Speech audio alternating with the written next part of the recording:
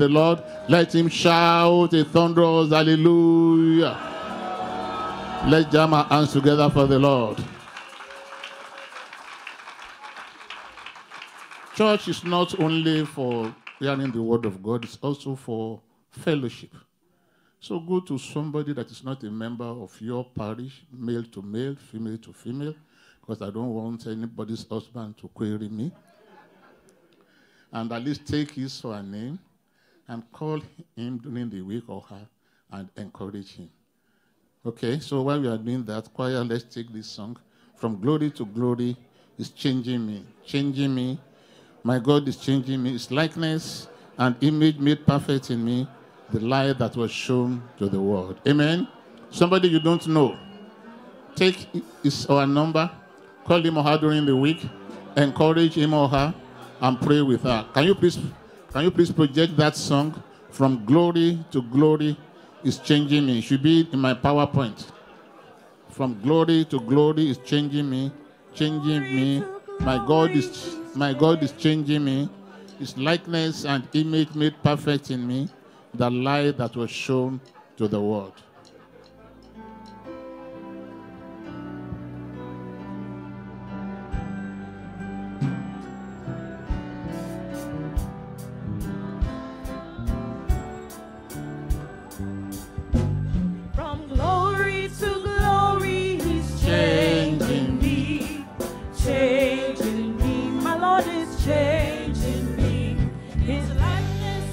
Pastor Deji, made you're not taking anybody's number.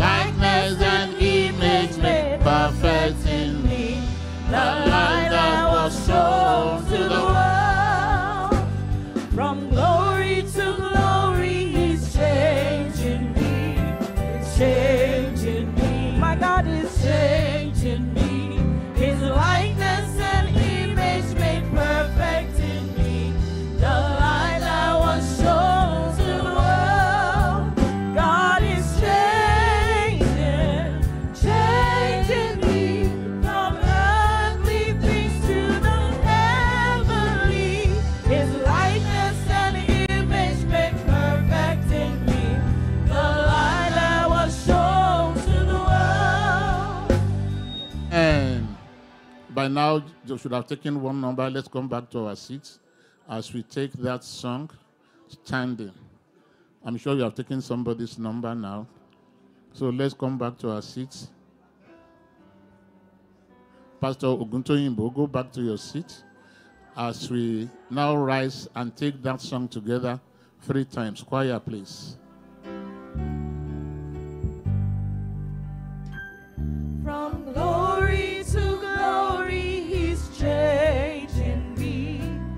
changing me. My God is changing me.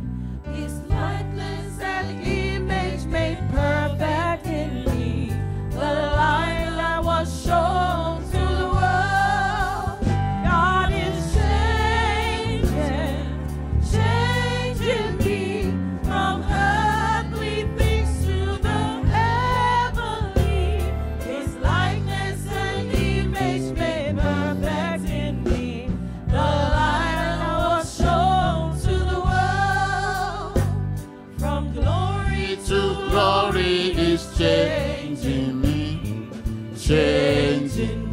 My Lord is changing me. His likeness and image made perfect in me.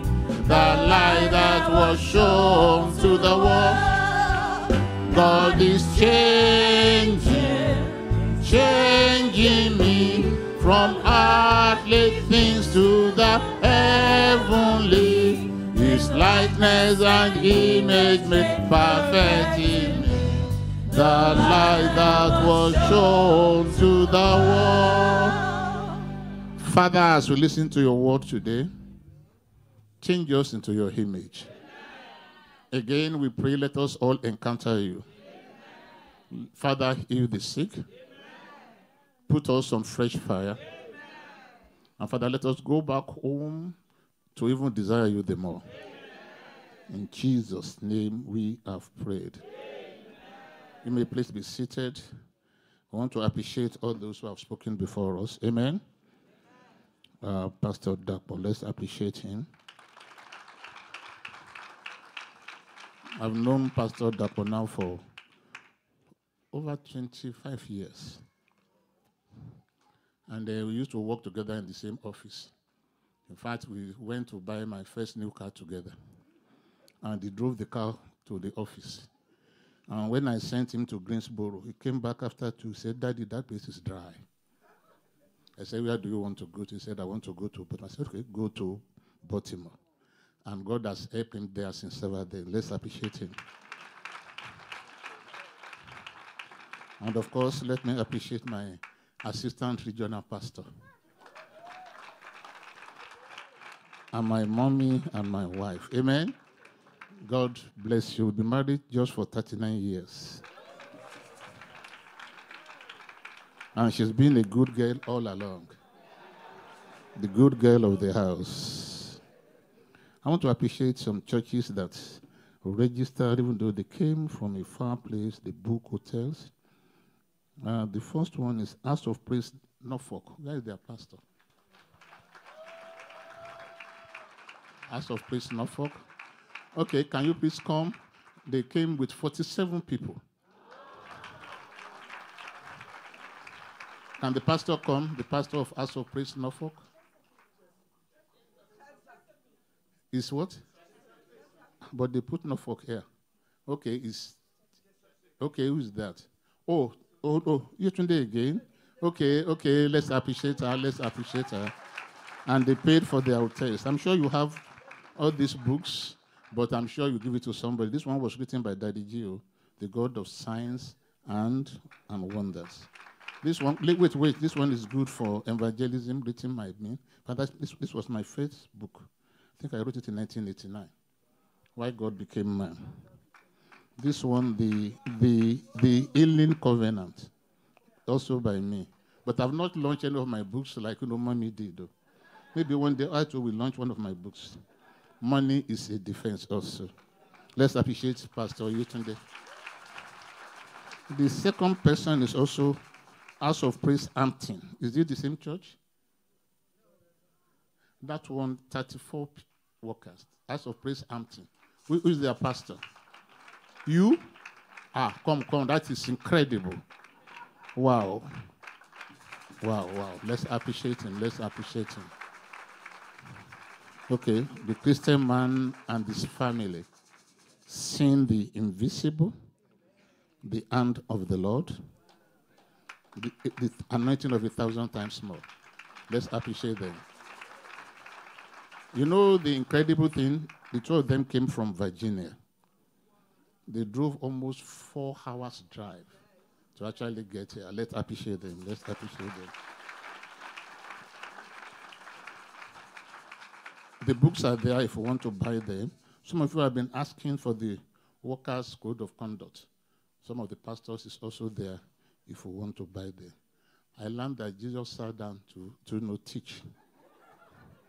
So I will sit down to teach. Since we are all sitting, so for for you know symmetry, it's good for me to also teach.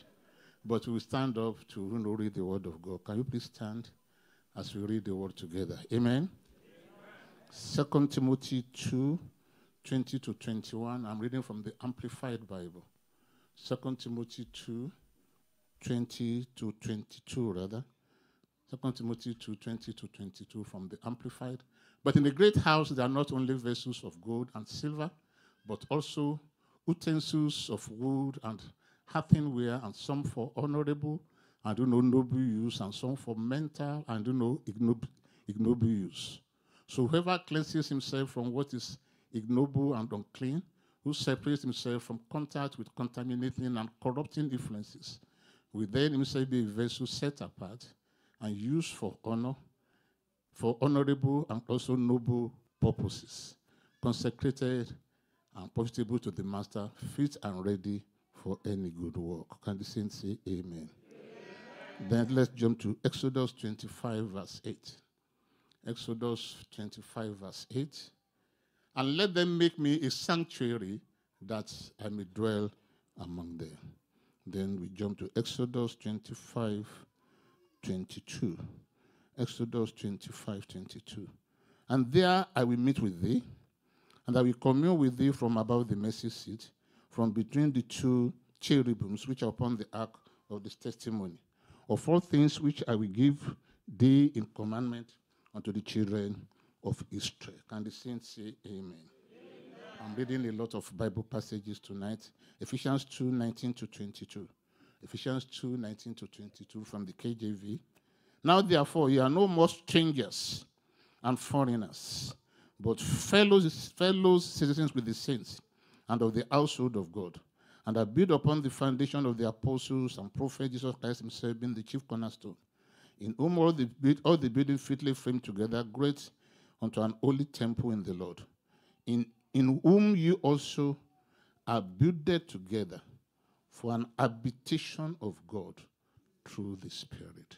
Father, thank you for your word. Breathe upon your word and bless your people. In Jesus' name. Amen.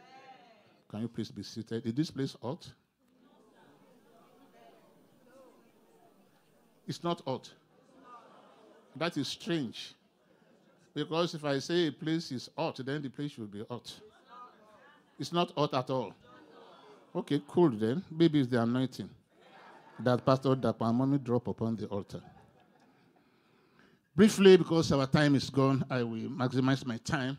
I'll be speaking on becoming the ark of God slash vessels unto honor. Can we say that together? All over the years, God's desire is to dwell among his people, or rather to dwell in us. And so he initiated that Moses should build a tabernacle according to the pattern that he showed him on the mountain, where he could dwell among his people. And that tabernacle is a special object referred to as the ark of God. Can we all say the ark of God? Which represents the presence of God. The word tabernacle, however, means a dwelling place, a tent, a place of habitation, a residence. That is the tabernacle. You, that is the real tabernacle, the one by the right. Then the other by the left is the tabernacle with the outer court. Am I communicating at all? The one to your right is the tabernacle itself. Then the one to the left is the tabernacle with the outer court with the priest. So the word tabernacle, like I said, actually means can we say a dwelling place, a tent, a place of habitation, a residence? The tabernacle was a place where divinity met with humanity. Can we say that together? The tabernacle was a place where divinity met with humanity. It was a meeting place between God and man. Can we say a meeting place between God and man. So the tabernacle of this prophet called Moses was divided into three main compartments. We have the outer court. Can we say the outer court? The outer court is where you see all those things before that you know that you know covering. Then we have the holy place, and then we have the holy of holies or the holiest. Amen. There is an outer court enclosed by curtains supported by, you know, pillars. It was oblong in shape and the entrance was on the east side. And once we enter, you will see the altar of, you know, sacrifice. That is the altar of what? Sacrifice. As you enter the outer court, the first thing you will see there is the altar of what? Sacrifice. Amen. It is a bronze altar, which was within the court, facing the entrance. The tabernacle itself which I show you, the small place that was covered with, with a curtain, was located at the western part of the court. The tabernacle was divided by a veil, hanging curtain into two chambers. In the tabernacle, however, you have the holy place. Can we say the holy place? It contained the table of showbread, that is the holy place, That the table there by the right. It also contained the lampstand by the left, by my, by my own left. It also there contained the altar of incense, which is by the center. Only the priests were allowed to enter this section. The second chamber was called the Holy of Holies or the holiest of all. It contained the Ark of the Covenant. The high priest entered this once a year on the Day of Atonement, and they have to tie a rope around him. And in case he made any mistake, then if he dies there, they will pull the rope, and then they will pull him out because he himself, the, because the people cannot go in. So there are seven pieces of you know furniture in the old tabernacle, the outer court, and the tabernacle itself. In the outer court, like I said, it has what you call the brazen altar. Can we say the the no brazen altar? But it's called the altar of sacrifice. That's the first place. The worshiper who encountered as he came into the door was, was that altar. It was wood covered with brass or copper at that time. It was a perfect square with horns on each of the four corners. It was where the blood sacrifices of clean lambs and goats would be offered in the heat of fire unto God for atonement, that is the covering and forgiveness of their sins. Exodus 27, 1 to 8. The next Dupe, you want to read for me? Exodus 27, 1 to 8. Exodus chapter 27, verses 1 through 8. And thou shalt make an altar of shittim wood, five cubits long and five cubits broad. The altar shall be foursquare, and the height thereof shall be three cubits. And thou shalt make the horns of it upon the four corners thereof. His horns shall be of the same, and thou shalt overlay it with brass. And thou shalt make his pans to receive his ashes, and his shovels, and his basins, and his flesh hooks, and his fire pans. All the vessels thereof shall that make of brass. And thou shalt make for it a grate of network of brass. And upon the net thou shalt make four brazen rings in the four corners thereof. And thou shalt put it under the compass of the altar beneath, and the net may be even to the midst of the altar.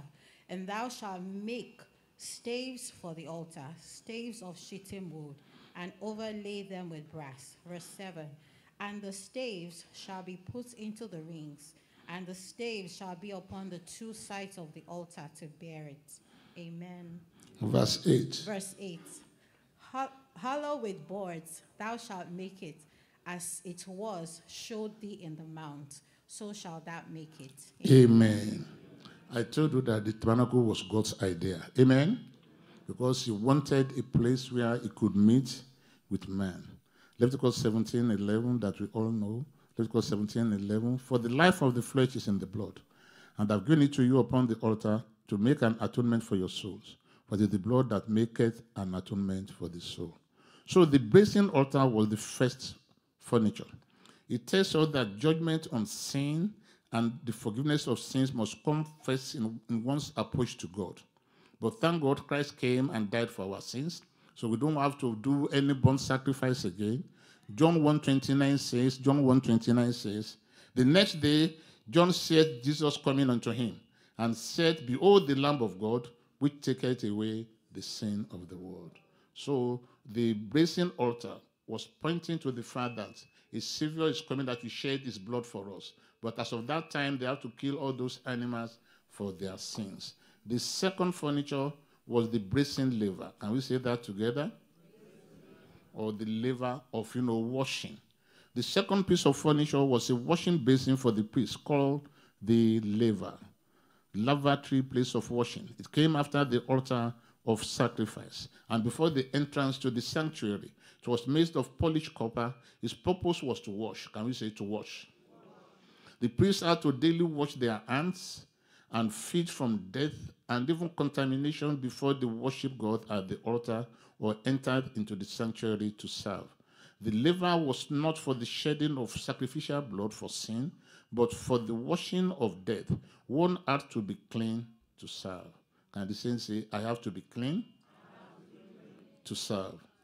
Deaconess Dupe, please. Exodus 30, 18 to 21. Exodus 30, 18 to 21. Exodus chapter 30, verses 18 through 21. Thou shalt make a laver of brass, and his foot also of brass, to wash withal. And thou shalt put it between the tabernacle of the congregation and the altar, and thou shalt put water therein. For Aaron and his sons shall wash their hands and their feet thereat. When they go into the tabernacle of the congregation, they shall wash with water, that they die not.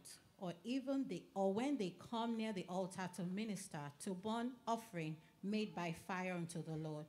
So they shall wash their hands and feet, that they die not. And it shall be a statute forever to them, even to him and to his seed throughout their generations. Amen. So the second piece of furniture was the laver. We test us that God is not only interested in the forgiveness of our sins, but also our daily cleansing in living for Him. As the Christian daily learns God's word, the Bible, he or she is cleansed from wrong thinking and ways, so his or her service can be acceptable to God. Can the saints say Amen? Amen. Hebrews 12 28. Hebrews 12 28. Wherefore, we receiving a kingdom which cannot be moved, let us have grace, whereby we may serve God acceptably. Can we say acceptable service? Can we say it again? So whereby we may serve God acceptably with reverence and godly fear.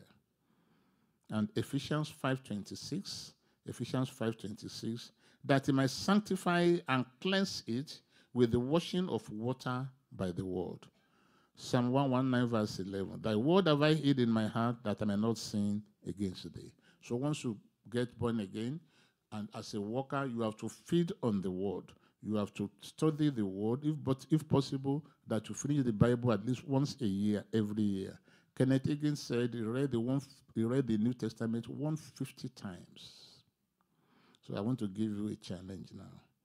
I'm not even saying finish the Bible. At least before this year runs out, finish the New Testament. Write it down in your note. Assignment. But Pastor Kingsley, you are not, you are not writing it in your notes. The assignment is you are to do what? Finish the New Testament before the year runs out. Amen. So as you leave the outer court, we are going into the holy place. Let's say the holy place.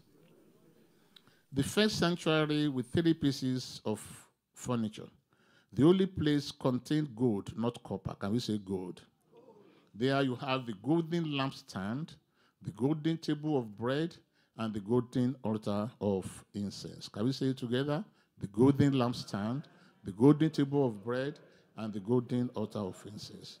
Here, the wash priest entered to perform service and also for him to represent the people in, in, the, in the worship of God. This section tells us that God is not only interested in our forgiveness or our cleansing, but also in our worship. Can we say worship? The golden lampstand was formed into the shape of an almond tree in the full bloom of life by, by beating or hammering it. It had six fruitful branches with a central shaft or trunk. That is the golden lampstand. It has six fruitful branches, then it has a central trunk. Amen. They were designed to hold seven bowls filled with olive oil to provide light. Light and life match in one unit. The light was continual and must never go out. It was that light that went out when Eli lost his vision spiritually and also physically. It is a type of Christ in both light and life. John 1 4. John 1 4. In him was life, and the life was the light of men. Amen. So, as, as you know, Christians, our light must never go out. I pray for you, your light shall not become darkness. In that same holy place, we have the golden table of shewbread. The golden table of shewbread. Directly opposite the lampstand stood the table of shewbread on the north side. Twelve loaves of bread were set on it once a week, representing the twelve tribes of what? Israel. During the week, the bread was to be displayed before God. On the Sabbath, the priests were to eat it. That is why we take the Holy Communion. It was the same bread that David and his men ate when they were hungry. Because David was not just a king, he was also a priest. He was, he was one king that was occupying two positions. He was, was also a king that was wearing the linen ephod. Amen? First Corinthians 10, 16, and 17. First Corinthians 10, 16, and 17. The cup of blessing which we bless, is it not the communion of the blood of Christ? The bread which we break, is it not the communion of the, of the body of Christ? So we be many are one bread and one body, for we are all partakers of that one bread. Amen? As we take the Holy Communion tonight, there will be strength again. We shall be energized spiritually. We shall be energized physically. The priests, they take it once a week for spiritual strength. And it was only meant for the priests. But when Christ came, he gave his life for us that any of us can take the bread, the, you know, bread of life. It was pointing to Christ, Christ being the bread of life. John 6 35. John 6 35. And Jesus said unto them, I'm the bread of life. He that cometh to me shall never hunger, and he that believeth on me shall never thirst. For the rest of your life, you will never know hunger. Still in the holy place, we have the golden altar of incense. The golden altar of incense, the third and last piece of furniture in the holy place, was the altar of incense with its four horns. You've seen the four horns. This stood by the veil, which separated the holy place from the holiest of all. The altar was for one purpose, only to burn incense, not sacrifice. To burn what? Incense. Incense pictures prayers to God. Psalm, 1, Psalm 141, verse 2. Psalm 41, verse 2. Let my prayer be set before thee as incense, and the lifting up of my hands as the evening sacrifice. Revelation 5 8. Revelation 5 8. And when they had taken the book, the four beasts and four and twenty elders fell down before the Lamb, having every one of them harps and golden vials full of odors, which are prayer of who? Of the saints. Then Revelation 8 3. Revelation 8 3. And another angel came and stood at the altar, having a golden censer. And there was given unto him much incense, that he should offer it with the prayers of all saints upon the golden altar which was before the throne. When one prays in the name of Jesus Christ, there is power, and our prayer are answered because it's a pleasing aroma to God. I've shared this testimony. It may look small to you, but to me, it's, it's, it was quite big. I've been called for jury duty years back, and, uh, and they wasted my time. I was there between 9 to 5. When it was 4.30 or 5, the defending attorney told me, oh, you're a pastor. I said, yes. Oh, you will be subjective. I don't want you to be one of the juries. So I was there for almost eight hours of my time, and they wasted it. And later they sent me a check for $15. what an insult. So this year they called me to come and do. First, it's last year that they've been calling me. I've been giving excuses. They now wrote to me that if I don't come, they will fine me one thousand dollars. So at our house fellowship in the house, we prayed. I was to go on Tuesday. We prayed Monday night. I said, when I get there, I want to spend five minutes. How many minutes? I said they should just interview me and ask me to go. So I now I now got there. The lady was kind to me. Favor shall go before you. He said, We have enough jury today. So you can go. But I will now stand with that we have actually come for jury. And you won't, they, won't, they are not going to invite you for the next three years. Clap for the Lord if you want to. And they said they will send me a check again. Write it in your note. No prayer is wasted. Every prayer you pray, answer will come. They are before God as an incense. Amen. Now that we take us to the holiest of all, where we are going. The second sanctuary with two pieces of furniture. Some will say one, but I actually call it two. The holiest place of all contained the Ark of the Covenant, covered with a special lid called the mercy seat. This was where God's presence resided and where he communed or talked with Moses. Exodus 25 22. Exodus 25 22.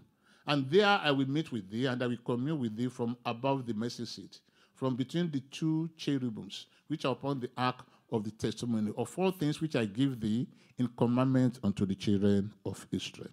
The veil or curtain blocked the way so others could not enter. However, the minute the Lord Jesus died on the cross, the veil then in the temple was split into two, showing the way was now made for all to come into communion with God. Can the saints shout hallelujah? Matthew 27 51. Matthew 27 51. And behold, the veil of the temple was rent in twain from the top to the bottom, and the earth did quake, and the rocks rent. Then Hebrews 9 7 and 8. Hebrews 9 7 and 8. But unto the second went the high priest alone, once every year, not without blood, which he offered for himself and for the errors of the people. The Holy Ghost, this signified that the way into the holiest of all was not yet was not yet made manifest, while at the first tabernacle was yet standing. Then Hebrews 10, 19 to 21. Hebrews 10, 19 to 21.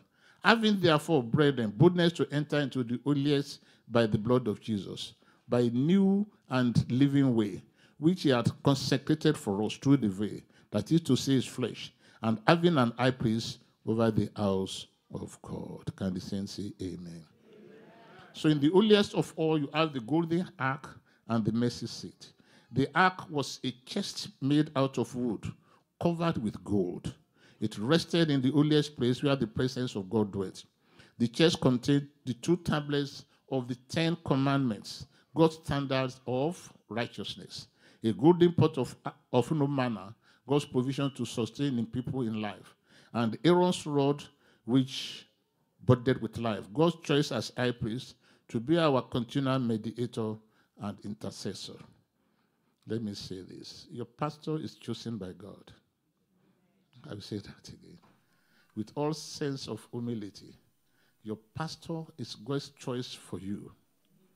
So the only thing you can do is to cooperate with your pastor, be his Aaron and all, lift up his hands a pastor you don't honor, you don't reference, his anointing cannot do anything for you. So if you are in the church, you don't reference your pastor, you don't obey him, you are making him to labor on you with pain, it's better for you to leave that church because the anointing cannot do anything for you. So, in that golden ark, you have the two tablets of the Ten Commandments. You have the golden pot of manna you have Aaron's rod. The Ten Commandments, they could not obey them. The golden pot of, of, of manna, when after God had fed them with manna, they said, We are tired of this food, of this loathsome food. Yoruba Bible put it better. It said, Onje bute bute is sumi. They are tired of what? This loathsome food it also represents their ingratitude to God. Aaron's rod, they are represented their rebellion, not accepting God's choice for them. So God had to do one thing. He, he did not want to see that they were disobedient, that they could not obey the Ten Commandments. He, could, he didn't want to see that they were ungrateful, that they didn't appreciate the angelic food. He did not want to see that they were rebellious, not accepting God's choice for them. He now covered it with the mercy seat. John 6 51. John 6 51. I am the living bread which came down from, the, from heaven. If any man eat of this bread, he shall live forever. And the bread that I will give is my flesh, which I give for the life of the world. Amen. Then Hebrews 4 14. See then that we have a great high priest that is passed into the heavens, Jesus the Son of God. Let us hold fast our profession. The mercy seat was the cover of the ark. It was solid gold, beaten into winged cherubim, one at each end, looking down where God's presence was. Once a year, the high priest alone went in with sacrificial blood from the brazen altar. You remember that, that you know, brazen altar? Amen? To sprinkle it on the mercy seat to obtain forgiveness of sins for Israel. The mercy seat tells us that there is mercy with God. The sacrifice of Christ is God's mercy. Amen. Romans 3:25. Romans 3:25. Whom God has set forth to be a propitiation through faith in his blood, to declare his righteousness for the remission of sins that are past, through the forbearance of God. Hebrews 9:12. Hebrews 9:12. Neither by the blood of goats and cows, but by his own blood, if the Lord Jesus entered in once into the holy place heaven, having obtained eternal redemption for us, all believers. In the ark we have Aaron's rod and the tablets of you know of prophet Moses, the golden pots that had manna covered by the mercy seat, and the mercy seat were the on, and beside the mercy seat were the two cherubims. But the ark signified the presence of God. All these are pointers to the Messiah Jesus, who was to come to dwell with us and in us. John 1:14. And the word was made flesh and dwelt among us. And we bear his glory, the glory as of the only begotten of the Father, full of grace and truth. Amen. So the essence of the ark that a time is coming that the Son of God will come and will come and dwell with us and will dwell in us. Am I communicating? So every child of God is now an ark carrier. That's why the title is Becoming the Ark of God or Vessels unto Honor. We don't have to carry any ark around again. You are now the ark of God. Can the saints say amen? Because God's plan initially, before Adam and Eve sinned, was that God would dwell with them. God will come down to the garden to come and fellowship with them. He was talking to them face to face. So now, when they sinned, and God was still, let me use the word, yearning to dwell with man, to dwell in man.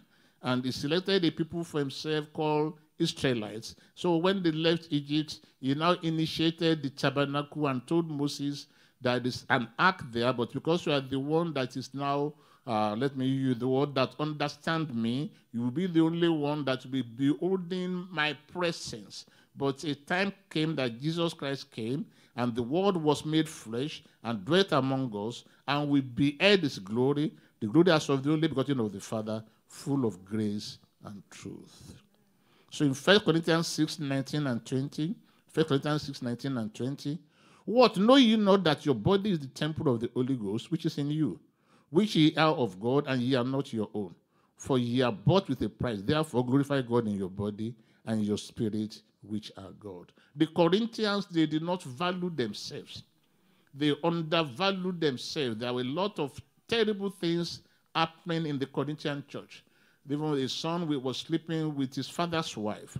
And so Paul was writing to them, Are you that stupid or foolish? Don't you have understanding that you are now the temple of God and you are of God and you are not your own, and that you are carrying the ark of God? Amen. The same thing believers today, they undervalue themselves. They don't know who they are. They don't understand that they are God carriers, that they have power in them. Also, God now decides to dwell in the believers and also to dwell among us. Matthew 18 20. Am I, am I communicating? Matthew 18 20. For where two or three are gathered together in my name, there I am in the midst of them. Tell somebody, God is here. I was ministering years back on this same altar, and one of my ministers, God opened his eyes, and he saw Jesus, Jesus standing right next to me. Brethren, don't undervalue yourself. You are a God carrier. 1 Corinthians 3.16. 1 Corinthians 3.16. Paul was still writing to the Corinthians, to the Corinthians rather. Know ye not that ye are the temple of God, and that the Spirit of God dwelleth in you. In Ephesians 2.22, Ephesians 2.22, in whom you also are builded together. Can we say the next phrase together? For an habitation of God through the Spirit. Tell somebody, God inhabits you. Hence, we don't need to be carrying the ark around again. We are now the ark of God. But God will not dwell in the filthy or sinful vessel. 2 Timothy 2 19 to 21. This time I will read from the from the KJV. 2 Timothy 2 19 to 21. Nevertheless, the foundation of God standeth sure, having this zeal. The Lord knoweth them that are his, and let everyone that nameth the name of Christ depart, depart, depart from iniquity. Can the saints say depart? Depart is an active verb. You can't transfer your own responsibility to God. It is you that have to depart from iniquity. Amen. But in the great house, there are not only vessels of gold and of silver, but also of wood and of earth, and some to honor and some to dishonor. That is where the challenge is. In the house of God, there are two kinds of vessels vessels to honor and vessels to dishonor. We will not be vessels of dishonor. And we all know the parable of the, of the tares.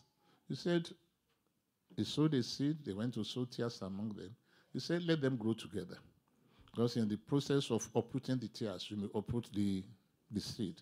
He said, At the time of harvest, the tares will be gathered into hell, and the seed will make heaven.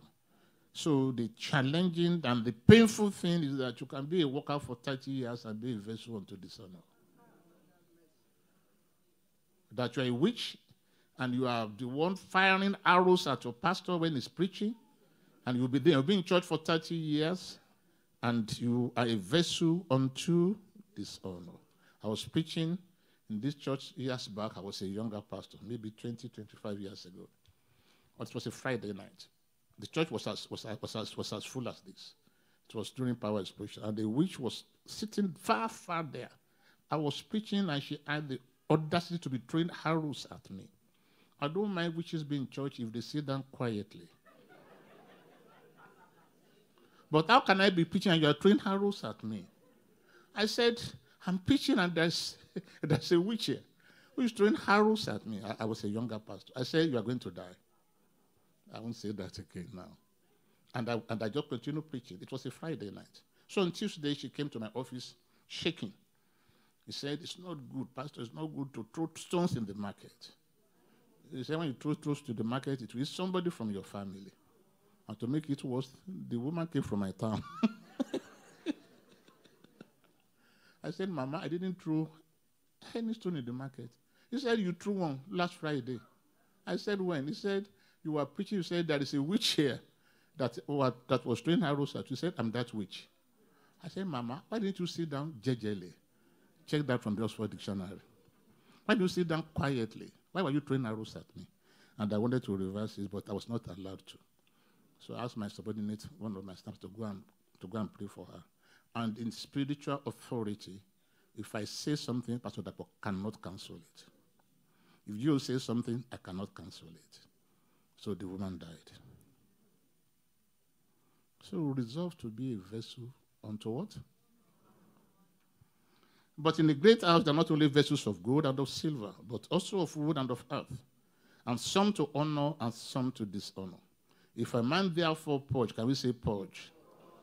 Purge himself from this, he shall be a vessel unto honor, sanctified and meet for the master's use, and prepared unto every good work. You want to be the ark of God, you must depart from iniquity. Can the saints say, depart from iniquity? Resolve to be a vessel unto honor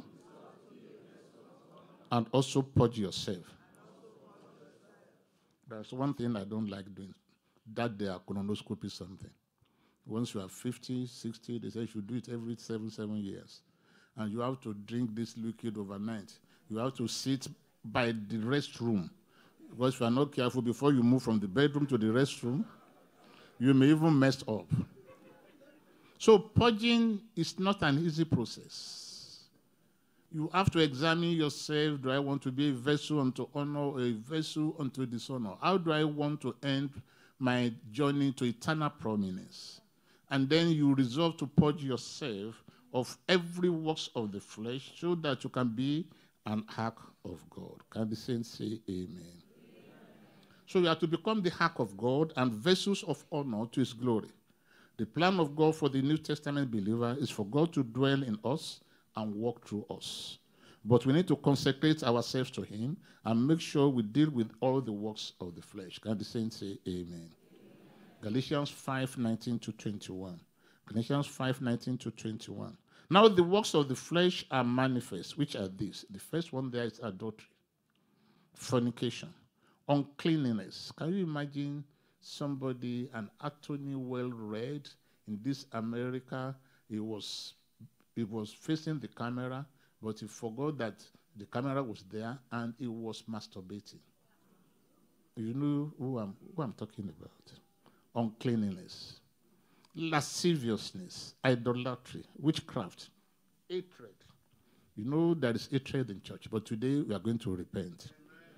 Variance, emulations, wrath, strife, seditions, heresies, envies. There is envy. There are envies in church. Mothers. Some people in their heart, they are entertaining murder. That may surprise you. Drunkenness. Some Christians are still getting drunk, like Noah, who got drunk and arms saw him. Instead of holding to his responsibility, caused harm. Revelings and such like, and such like, of which I tell you before, as I've also told in time past, that they will do something shall not shall not, shall not inherit the kingdom of God. These days, I told people that I hate this dating system, and I will tell you why. You will say you are dating my daughter. I'm talking to you as my as my no daughter, those of you who are single. And you said you are just dating her, she's not even your fiancée yet. And then for one, two, three years, all your friends know that you are dating her and she's been coming to your house and you have been messing up with her. After three years, you say you are no longer interested. That is the height of wickedness. The height of what? And the girl cannot get anybody to marry again within the community because everybody knew the story. You go and tell the story to your friend. What they taught us years back is that you should pray. Then you receive from God who you want to get married to, then you go and tell him or her. And that was what I did to mommy. Amen?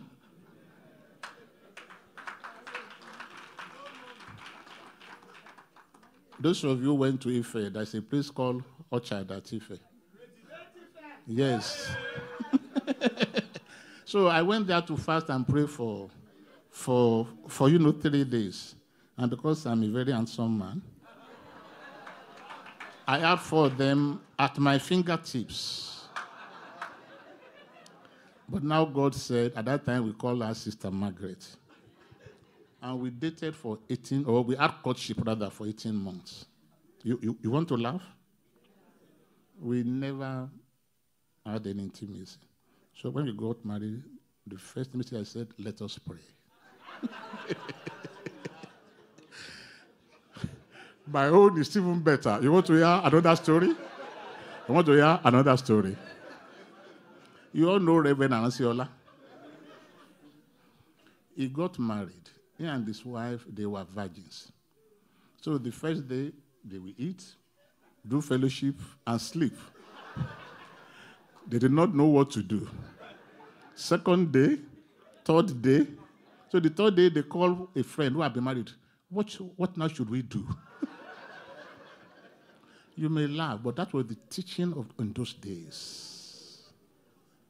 That was what? The teaching in those days. We fear God. We reference God. We know that it's either holiness or hell. It was the third day that the friend told him what to do. now the works of the flesh are manifest, which are these adultery. If I'm courtship, I'm appealing to you. If I've messed up, stop it it will not make God to bless your marriage. And if you are dating our sister, you don't have the intention of marrying her, please leave the little girl alone.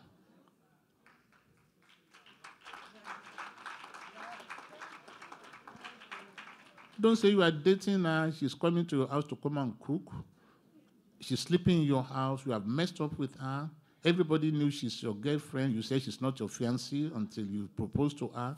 After three years, you said you're no longer interested. God will judge you.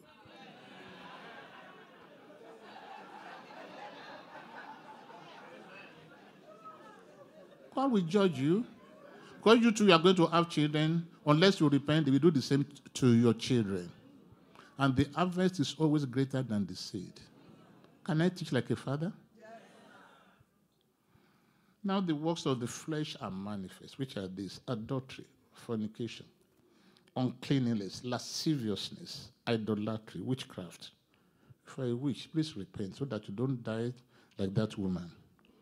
Hatred, variance, emulations, wrath, strife, seditions, heresies, envies, murders, drunkenness, revelings, and such like of the which I tell you before, that as I've told you in past, that they which do such things, they which do such things, they which do such things shall not inherit the kingdom. If you're not going to live holy, then get out of the church and enjoy yourself. Because you are just wasting your time. You're not going to make heaven. You're not going to live holy, go there, drink, smoke, do anything you want to do. Have 10 girlfriends if you want to. But you are living in church, you are coming to church, you are not living holy, you are wasting your time. The ark must be holy. Can we say the ark must be holy? Also, the ark must live a life of worship. The vessel of honor must live a life of worship. However, the purpose of the divine indwelling is for our lives to glorify God. Amen? And to be worshippers of God. The Bible makes it clear that God created man and that he created him for his glory. Amen? Isaiah 43 7. Isaiah 43 7. Even everyone that is called by my name, you are called by God's name. Amen? For I have created him for my glory. I have formed him. Yea, I have made him. Tell somebody your life must give glory to God. So, the ultimate purpose of man, according to the Bible, is simply to glorify God. So, God created man in his image so that we can give glory to him. Man's purpose cannot be fulfilled without God. So, for God to dwell in us, there must be absolute consecration. Let's say absolute consecration, which is holiness. Hebrews 12 14. Hebrews 12 14. Follow peace with all men and holiness, without which no man, no pastor, no assistant pastor, no deacon, no deaconess, no head of choir, no Sunday school teacher, no children teacher shall see the Lord. What makes you to see the Lord is not your position, but holiness and peace with all men. Can the saints say amen? First Peter 1 15 to 17. First Peter 1 15 to 17. But as he which are called you is holy, so be ye holy in all manner of conversation. Can we say, be ye holy in all manner of conversation? I pray that God will sanctify your tongue tonight. More than 50% of our sins is through our conversation. Because it is written, Be ye holy, for I am holy. And if you call on the Father, who without respect of persons, judgeth according to every man's work, by the time of your sojourning here, in what? In fear. Talking about holiness, that should be purity of heart. Let's say purity of heart. Psalm 24, 3 to 6. You want to be a vessel of honor, you want to be an ark of God. That will be purity of heart. Psalm 24, 3 to 6. Who shall ascend into the hill of the Lord? Or who shall stand in his holy place? He that hath clean hands and a pure heart, who hath not lifted up his soul unto vanity, nor sworn deceitfully. He shall receive the blessing from the Lord, and that from the God of our salvation. The generation of them that seek him, that seek thy face, O Jacob, Selah. Amen. She's talking about purity of heart. Ephesians 4 30 to 32. Ephesians 4 30 to 32. And grieve not the Holy Spirit of God, whereby ye are sealed until the day of redemption. Let some bitterness. Can we shout all? All bitterness, all wrath, all anger, all clamor, all evil speaking. Some of you, you speak evil of your pastor. Let that stop today. All evil speaking be put away from you with all malice. With all what? You know there is malice in church. And be ye kind one to another, tender hearted, forgiving one another, even as God for Christ's sake has forgiven you. You can't be workers in the church for 10 years and you will not offend yourself, but the rule says we should forgive one another. There should be no bitterness. That man who jilted you 10 years ago, forgive him. There should not be wrath. There should not be anger. There should not be clamor. There should not be evil speaking. they should be put away from you with all malice. We are to be kind one to another as the ark of God, tender hearted, forgiving one another, even as God, for Christ's sake, hath forgiven us. You must deal with the enemy within. Can we say amen? amen? What kills many people is the enemy within. Mark 7 21 to 23. Am I too fast? Okay. Mark 7 21 to 23. For from within, out of the heart of men, proceed evil thoughts, adulteries, fornications. Adultery, we are going to pray again that, that you know spirit tonight. Murders, thefts, covetousness, wickedness, deceit, lasciviousness, which is lack of you know, lack of you know, restraint, and evil eye, blasphemy, pride, foolishness. All these evil things come within and defile the man. Many people are being destroyed because of the enemy within. There are evil thoughts, adulteries in our heart, fornications, murders, thefts, covetousness, wickedness, deceit, lasciviousness, evil eye, blasphemy, pride, foolishness. And I wonder what people are proud about in America. You don't know any, you don't own anything. Your house is 30 or 15 years mortgage. Your Mercedes Benz is on car note. And your Range Rover is on car note. If you don't pay within two or three months, they are coming to come and take it from you. It's all Lagos for sure. So, what are you being proud of when you don't own anything? God will deliver us from pride. If we want to, if we are allowed to, to you know, list how dirty or how bad things are, you start with unbelief. God, the children of Israel did not enter the promised land because of unbelief. The next will be adultery, the third will be pride. Pride made Lucifer to fall to become Satan. You shall not fall. In consecration, for us to become the ark of God, there must be a total surrender. Let's say total surrender. Matthew 19 27. Matthew 19 27.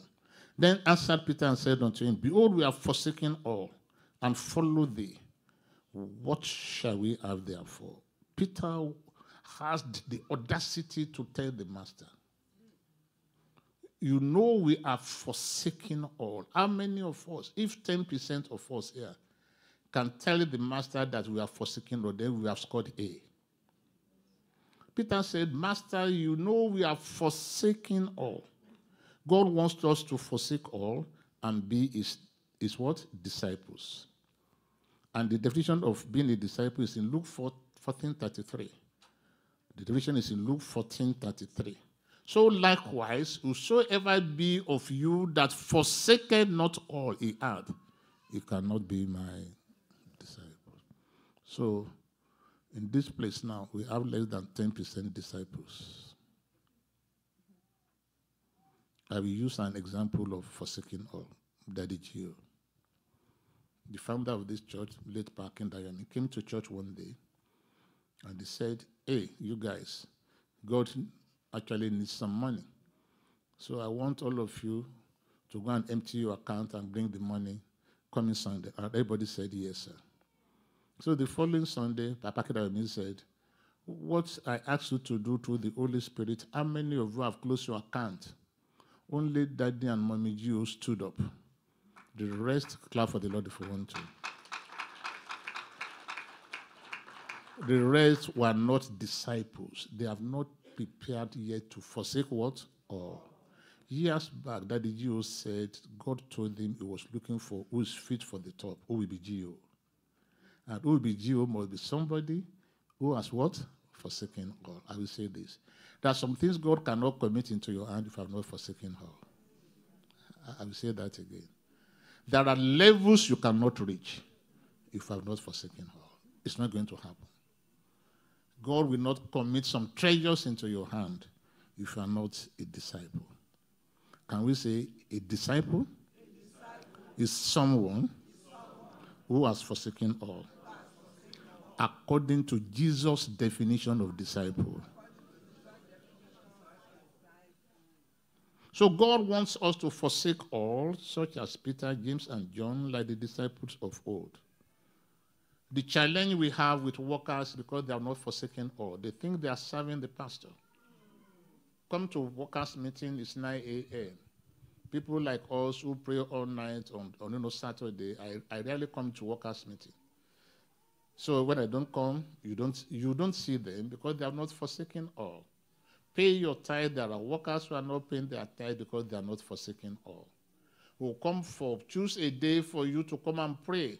After you have said it ten times, you just you just leave some and you forsake and you've just you you only you only focus on those who are listening to you. There are pastors in my church who have no day to come and pray, and I've been saying it for a whole year. There are assistant pastors in Bowie who have no day to come and pray, and I've been saying it for almost a year. There are deacons and deaconesses who have no day to come and pray. And I've been saying it for two, three years. So I just left them. And it is worse when I leave you. And I focus, and I focus on those who are obeying me. When I ask you to do something, you don't do it two or three years and I just leave you. I don't want to waste my time on you let me focus on those who are listening to me. Jesus will not pack you up. Or you may say your pastor is not Jesus. We are representing him. If your pastor decides not to correct you again, you're in soup.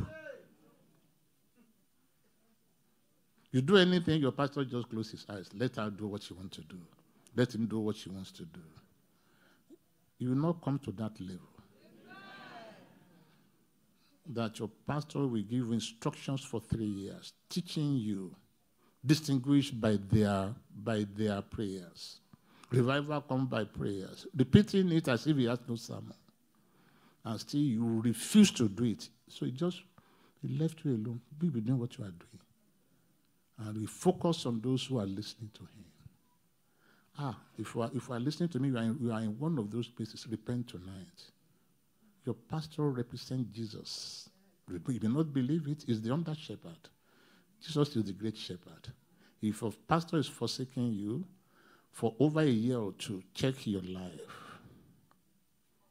God wants us to forsake all. Can we say that? Such as Peter, James, and John, like the disciples of old. The church lacks power because we are not consecrated enough. A lot of flesh and the lack of total and complete surrender. I will say that again.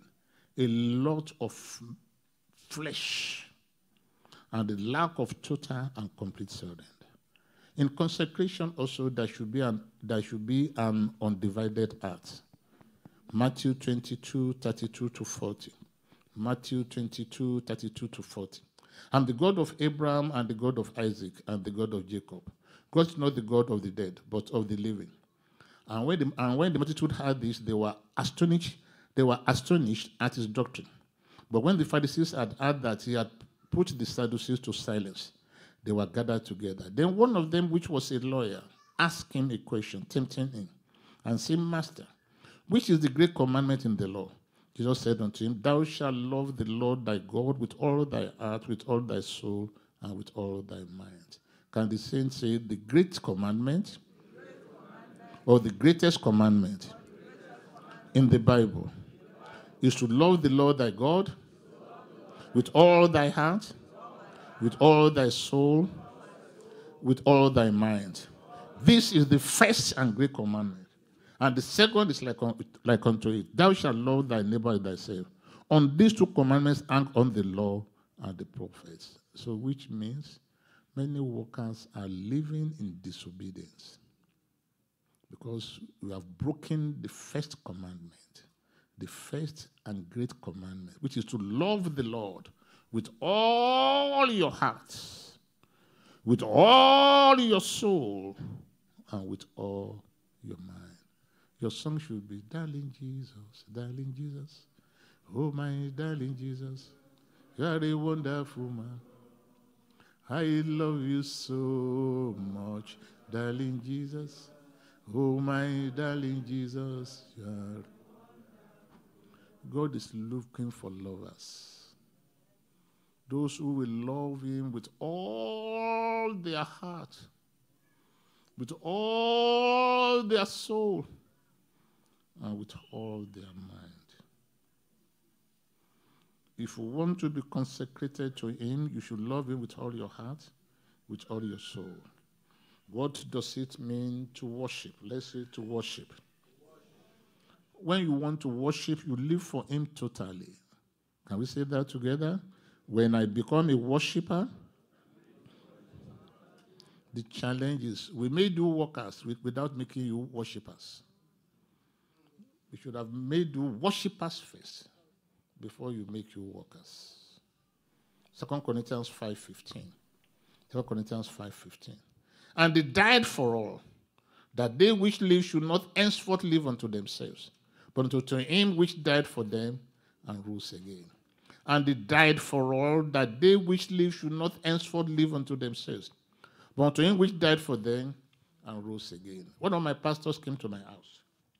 They are about to reconstruct their you know, building. And I didn't have much, so the church gave him $1,000.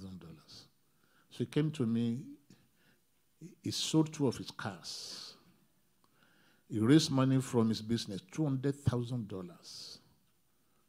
He sold two of his exotic cars, raised money from his, from his business, $200,000 to reconstruct the church building. That is somebody who knows that henceforth is to live for him because he died for him. Ask someone, who are you living for? What that man did, he may not know the implications now. He will reap it. His children shall reap it. His grandchildren shall also reap it. His great grandchildren shall also reap it, up to the fourth generation. God will not owe you anything. Romans 14, 7 to 9. Romans 14, 7 to 9. For none of us liveth to himself, and no man dies to himself. For whether we live, we live unto the Lord. And whether we die, we die unto the Lord. Whether we live therefore or die, we are the Lord's. For to this end, Christ both died and rose and revived, that may be Lord both of the dead and the living. So Christ died for those who will live for him, not those who will serve him half-heartedly, not those that will be begging to come for night vigil, not those that will be begging to come for workers' meeting, not those that will be begging to pay their tithes. For none of us liveth to himself once you are born again. You are no longer yourself, you have been bought with a price. And no man died to himself. So whether we live as workers, we live unto the Lord. And whether we die, we die unto the Lord. Whether we live therefore or die, we are the Lord's. And you are laying your treasure in heaven, not for the pastor. I've told my workers, some workers may receive more reward than me if they do their work faithfully as unto the Lord. So the challenge of that you don't understand the kingdom. When you understand, nobody will beg you. You, will- you will do your schedule to live for the Lord. You will arrange your finances to live for the Lord. You will arrange your time to live for the Lord. Your treasure will be for the Lord. Your time will be for the Lord. Your talents will be for the Lord. Your family shall be for the Lord. Because you are laying treasures in heaven for yourself, not for the pastor. Some of you may receive more reward than the regional pastor if you are faithful to your calling and you do it as unto the Lord. You are a children teacher, you fast, you pray before you come and teach the children. We had this man when we were at, at the you know, headquarters. He was a Sunday school teacher. The Sunday school superintendent want to divide the classes, he want them to be actually equal, maybe 50 50. But every Sunday, everybody will migrate to that young man's teacher. My nephew, they love him. They call him demonstrator. He has one small Bible like this. So we went through everybody, the Sunday school superintendent, we say, ah, no, we want to write to yeah. When the Sunday school superintendent got fed up, okay, you go to him if you want to go to him. We went to ask, what was he doing that others were not doing? This gentleman we pray all night for about seven hours to come and teach Sunday school.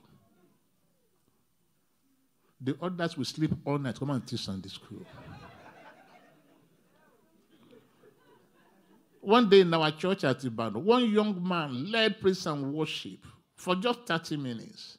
The glory of God came down to the church, and the pastor couldn't minister. You are coming to teach the children. You are coming to teach Sunday school. You are coming to sing in the choir. And you fornicated before you came. You are a vessel unto dishonor. You are not an ark of God. The challenge is that we don't desire God the way we should. We live for the wrong things. We live for profane, modern, and ephemeral things. We should get our preferences right tonight and begin to love God. Just as Paul said in Philippians 1:21, "For me to live is Christ, and to die is gain." May we have understanding that as the ark of God, we are to live for Him. In consecration, for you to be the ark of God, there should be total and complete obedience. Can the saints say amen? First Samuel 15, 23 and 24. First Samuel 15, 23 and 24. For rebellion is at the sin of witchcraft. So rebellion is equivalent to what? If you are living in rebellion, you are a witch. You don't have to fly. The Bible says you are what? You are a witch. And stubbornness is, an is as iniquity and idolatry. If you are stubborn, you are an idol worshiper. That you don't come when you come to church, you come with a teachable spirit. We teach you, we give you instructions, you say yes, and then you run with it. You don't argue with us. You don't rebel against the word of God. You don't say, I will do it my own way. You must do it according to the constitution. Can the saints say amen? Because, and the, and the challenge there is say, say, because thou hast rejected the word of the Lord, he has rejected you from being king. And Saul said unto Samuel, I've sinned, for I've targeted the commandment of the Lord and thy word, because I feared the people and obey their voice. Fear God, don't fear the people. I pity Samson. Samson slept on the lap of Delilah. And eventually they shaved him. And he rose up and wanted to go and fight and said he did not know that God has left him. Ah, God shall not leave you. He rose up, he wanted to go and fight, but said he did not know. So you may be a fan that has been switched off and you are still rolling. And you don't know that God had left you. Ah, today there will be restoration.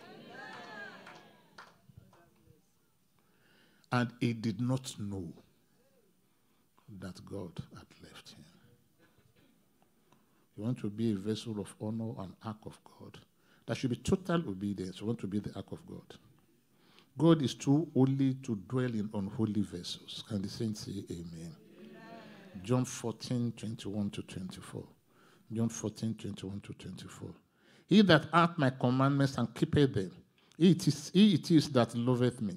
And they that loveth me shall be loved of my Father. And may you be loved of God afresh. I say, may God love you afresh today.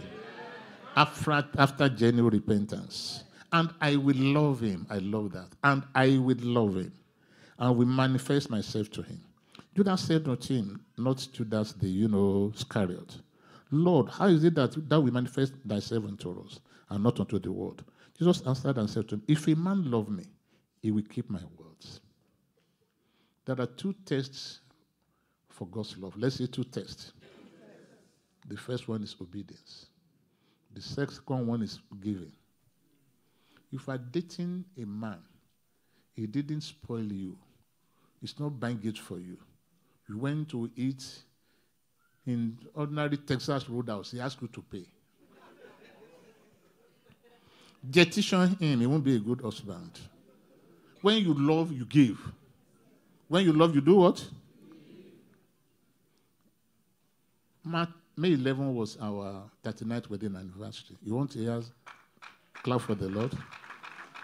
You want to hear some little gist? And then the following day, May 12 was Mother's Day. I decided to buy four cards two for Mother's Day, two for anniversary. So I put one under her pillow. I put one in the restroom. I put one in the bathroom.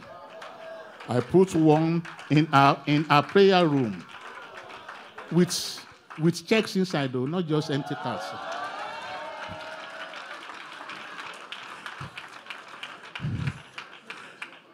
And since that day, my food went to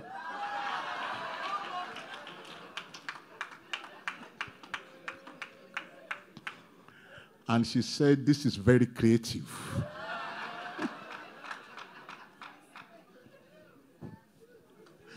Let somebody shout hallelujah. Can we say love gives?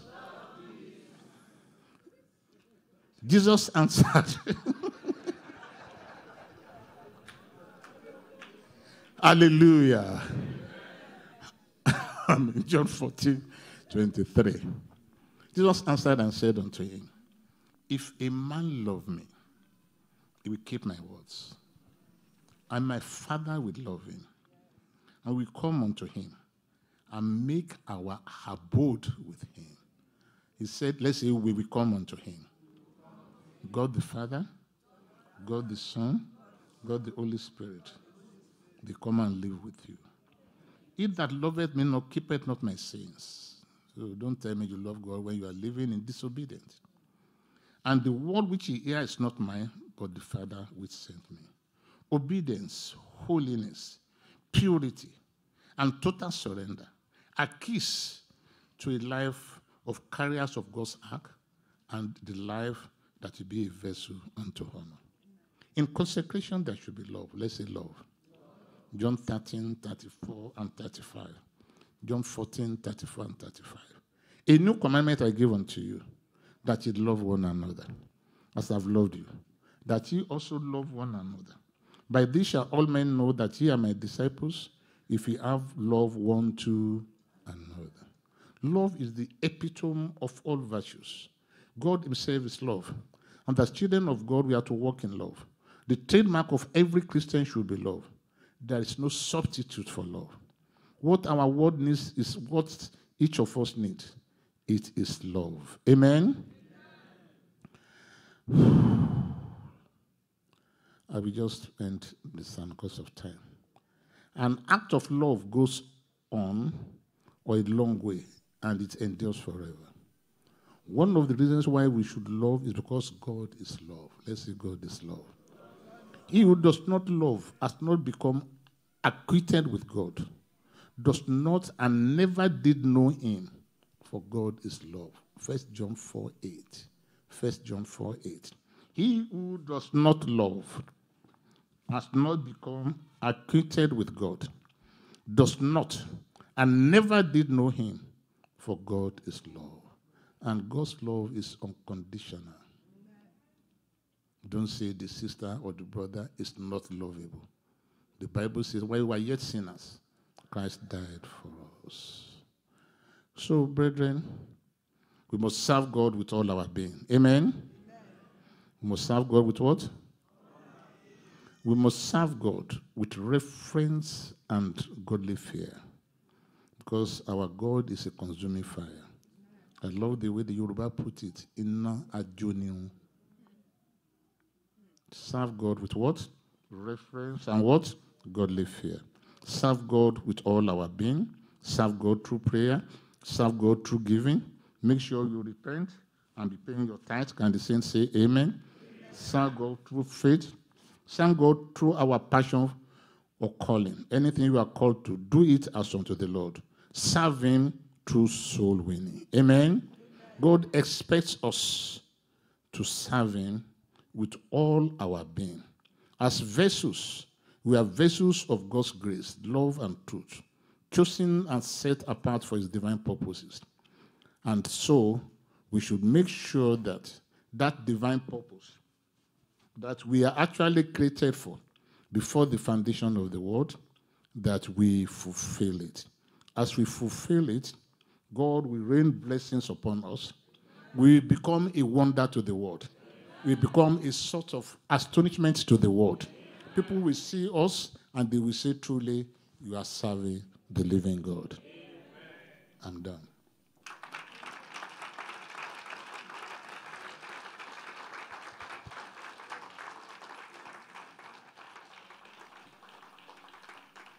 Hmm. I have a life to live. I have a life to live. I have a life to live. My life shall not waste. I have a life to live. My life shall not waste. I have a life to live. I have a God to serve. I have a God to serve. I have a God to serve. I have a God to serve. My life shall not waste. I have a God to serve. My life shall not waste. I have a God to serve. I have a God to serve. I have a God to serve. I have a God to serve. I have a God to serve. This life must not waste. I have a God to serve. Uh, this life must not waste. I have a God to serve. I have a life to live. I have a life to live. I have a life to live. This life must not waste. I have a life to live. This life must not waste. I have a life to live. I have a God to serve. I have a God to serve. I have a God to serve. I have a God to serve. This life must not waste. I have a God to serve. Uh, this life must not waste. I have a God to serve. This life must not waste. I have a God to serve. This life must not waste. I have a God to serve. As we are thanking God for the word He has sent to us, I call on Pastor Adikombi to come and lead us in prayer for about 10 minutes. Let's begin to thank God. God has sent His word to us. The Bible says He sent His word and He healed them and delivered them from their, from their destruction. Let's begin to thank God that the word of God will prosper us. The word of God will find a place in our heart. Sheke shekera bobo. Uria meke sekera bobo. Sheke sheke bobo sukura baban. Meke sekera de de sekeri agagan. Oso keke sheke rika. Ente rike sekera baban. Let's pray that the word will bear fruit in our hearts. Meke sekera bobo sukura baban. Sheke shekera baba sekera dada.